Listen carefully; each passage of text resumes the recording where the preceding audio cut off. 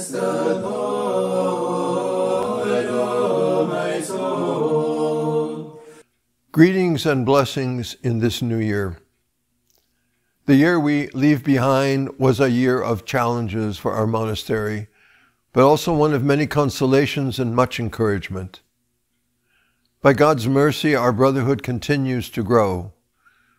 We not only clothed a new novice and tonsured a new monk, but Lord willing, in the first half of this year, there will be three more men coming to join us in taking their first steps in the monastic life. In the past year, we have also seen our new temple begin to rise. Our new contractor began work on the project at the start of the year correcting some structural issues with the foundation walls and moving the whole construction forward. West Virginia's winter meant that it was slow going in the early months of the year. But then in the spring, we had a great blessing. In April, for the very first time, we received a visitation of the miracle working, quick to hear icon of the Theotokos from St. Tikhon's Monastery in Pennsylvania. This precious icon was brought to us personally by Archimandrite Sergius, the abbot of St. Tikhon's. We greeted the arrival of the Mother of God with festive bell ringing hymns and prayers.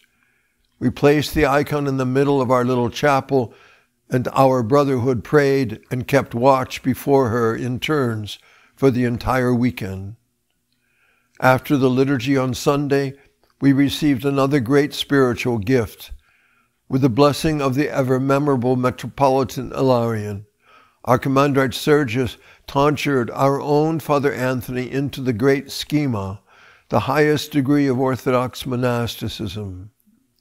At the end of the tonsure service, Archimandrite Sergius expressed to us his confidence that the Mother of God herself had come to remove the obstacles that had been hindering the church construction. Immediately afterward, we carried the holy icon in procession to the construction site. Right on the spot where the new temple will one day stand, we served a supplicatory moleben, begging the Mother of God, quick to hear, for her speedy intercession on behalf of our ongoing building efforts. We implored the Theotokos for her help, and she truly was quick to hear and act. Within just a few days of her visit, the masonry work began in earnest on the new church, and the building finally began to rise above ground right before our eyes.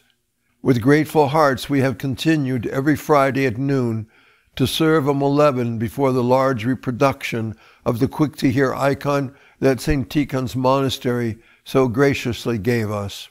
Since that eventful weekend, construction has continued unabated. Glory be to Christ our God and to his most pure mother. As the building has moved forward, we're already seeing how significant this temple will be, not just for our monastery, but for the witness of orthodoxy in our country. In fact, we have learned from our construction foreman that several of the West Virginia master craftsmen now working on the new temple, actually requested to be on this particular project as opposed to other jobs to which they could have been easily assigned closer to their own homes.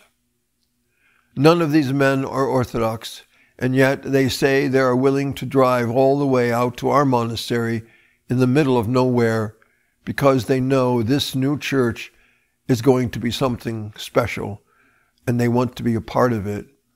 It will be something special. There's no doubt about it. That said, our remote location, coupled with the unavoidable delays and dramatic price increases for many of the essential building materials required, means that this church is going to cost considerably more than we had originally anticipated. But with God's help and your support, we are pressing on. So far, our brotherhood has invested our entire savings of over $1.6 million, and now we have begun tapping into the $2.2 million that you, our generous benefactors, have already given. But much more will soon be required. We now know that finishing and furnishing this new church will cost much more. When we look at the construction bills we are currently paying each month, we project that we will be able to continue building at full speed until May or June. At that time, however, without a miracle, our funds will be exhausted and we will have to stop the church construction until the Lord provides a way to continue. That is why I am coming to you today. Will you help us finish the new church of the exaltation of the Holy Cross? Then will you continue to stand with us and help us build the essential housing for the men God is still calling to the monastic life here at Holy Cross? Many of you have already given very generously, and for that we are tremendously grateful. But our work here in the hills of West Virginia is just beginning. We won't be able to finish building the walls of our New Jerusalem without your ongoing support. Christ said, We are to be the light of the world, that a city set on a hill cannot be hid. Please help us build this city set on a hill, so that our life of prayer and worship will not stay hidden in this remote holler of West Virginia, but will be an ever brighter light to our neighbors, to our nation, and to the whole world. God bless you.